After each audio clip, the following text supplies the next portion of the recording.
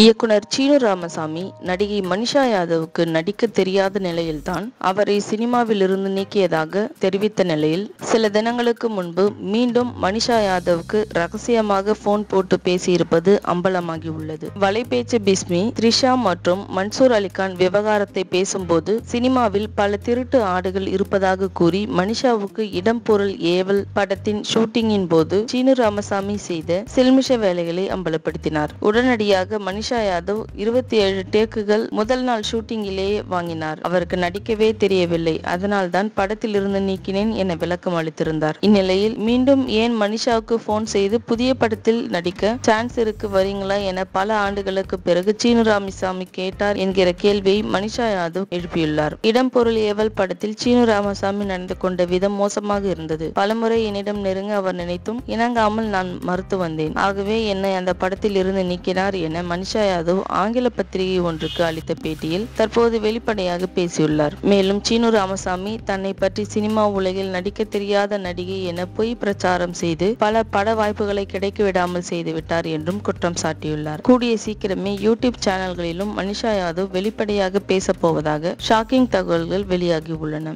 இந்த வீடியோ உங்களுக்கு பிடிச்சிருந்தா லைக் பண்ணுங்க ஷேர் பண்ணுங்க கமெண்ட் பண்ணுங்க. மறக்காம நம்ம சேனலை சப்ஸ்கிரைப் பண்ணுங்க.